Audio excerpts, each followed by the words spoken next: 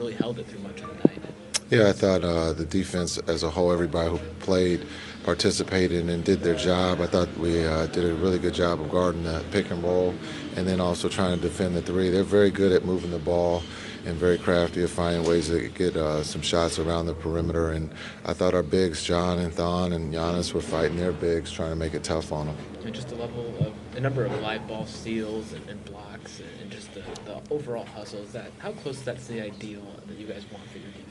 Uh, we wish that would be every night. Uh, as a coach, you want that every night. We know that it's uh, hard to do, uh, but I thought the intent, the uh, the guys, uh, I thought you know Eric gave us a little life there. his speed there in that first half, um, I think makes the game a lot easier for everybody. And then on the defensive end, I thought he was great on the ball by not getting picked, and which that helps us not overcommitting. So um, there's a lot of good things that we can learn from tonight, and it's hard to win here in San Antonio. They're a very good team, well coached.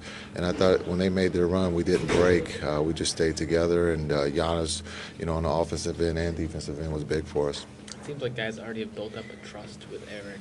You know, what would you attribute that to? Uh, being a pro, um, understanding he, he is talented, and so being able to run the pick and roll uh, with Giannis late, he can make the right plays. I think for our bigs, they're going to have to get used to getting a little dump offs and being able to finish uh, because he's going to get in the paint, he's going to cause a problem. Coach, does that speak to the maturity of this team, just being able to close out a game like this in against a veteran ball club like San Antonio? Yeah, it just shows. Hopefully, we're growing. Uh, again, uh, we've had some great practices, and I thought we took the practice, you know, over to the game tonight, and we got to continue. We got a quick turnaround here uh, when we play the Lakers. Um, but I, I, again, I thought the the attention to detail was at a very high level, uh, and you're going to have to do that on a nightly basis. They uh, usually they good in the third quarter last few games. Did you guys do anything different to make things tough? No, you know, I thought uh, we made one adjustment, and that you know, and that that paid off for us. And so, um, you know, looking to be aggressive on the defensive end where we can get steals, uh, that takes away from us having to rebound the ball. So when we get deflections to steal, it helps us get in the open court and we can convert that. And I thought we did a really good job in converting those turnovers tonight. Coach, how excited are you for Eric and Giannis for the rest of the season? Uh, I thought again uh, for the first time playing together, I thought they did a great job.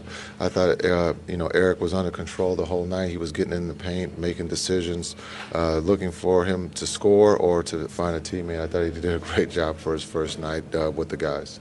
Coach, it had to be really impressive for a guy that hasn't played in three weeks to be in a fourth quarter three-point ball game. I mean, just the turn of events for him had to be pretty drastic. Yeah, Telly, I think he was just excited to be back playing. And uh, again, I thought his leadership, talking on the floor to his teammates, uh, is something that we needed. And I thought he did a great job. But he, he wasn't bashful trying to talk to his teammates. And then again, a close game. Guys don't know each other that well, and I thought they handled the situation quite well.